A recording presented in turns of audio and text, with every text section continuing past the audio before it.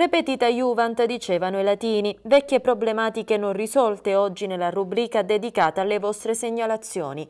Tornate al buio le strade di Contrada Fontana Calda. Da circa un mese, riferiscono i residenti, l'illuminazione pubblica non è più in funzione. Gli abitanti della zona riferiscono di aver comunicato il guasto sia al comune sia all'ente gestore. Ad oggi però le luci dei pali della contrada continuano a non accendersi quando dovrebbero. Abitare in una zona periferica al buio non ci rende sicuri, riferiscono i residenti. Un'altra situazione di pericolo viene segnalata nuovamente dalla via Figuli, zona in cui si aggirano abitualmente diversi cani randaggi. Alcuni cittadini ci riferiscono che ieri nel tardo pomeriggio un branco di 6-7 cani si aggirava nervosamente sul marciapiedi che costeggia il Parco delle Terme, inquietando i passanti. Lì ormai da mesi si trovano delle ciotole che puntualmente vengono riempite per sfamare i cani randaggi. Una pratica che chi ci ha contattato si chiede se sia lecita o meno. Sta di fatto che percorrere la via Figuli è diventato pericoloso per la presenza dei numerosi cani.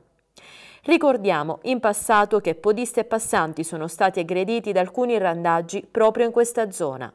Un problema che andrebbe risolto a monte con la sterilizzazione degli esemplari e con il trasferimento dei cani in strutture idonee. Chi ci ha contattato suggerisce infine di collocare sul posto le telecamere mobili in possesso del comune per individuare e scoraggiare chi ha l'abitudine di nutrire il folto numero di cani in una strada, oltretutto parecchio abitata e transitata a due passi dal centro storico.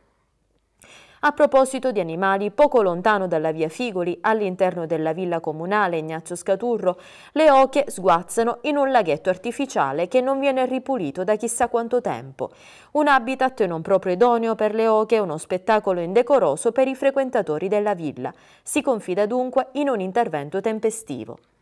L'ennesima chiamata alla nostra redazione riguarda infine la sporcizia all'atrio della scuola primaria di Via Catusi. Pare che la pulizia spetterebbe al comune di Sciacca, i cui operatori ecologici non hanno ancora eliminato i pericoli presenti nell'area attigua all'ingresso della scuola. Sul posto vetro, legno, resti di lavoro edili, materiale abbandonato ormai da mesi e mesi. Le segnalazioni ci giungono da più genitori indignati per la mancata cura di un'area frequentata dai bambini, nella speranza che attraverso le nostre sollecitazioni si provveda finalmente ad eliminare i pericoli.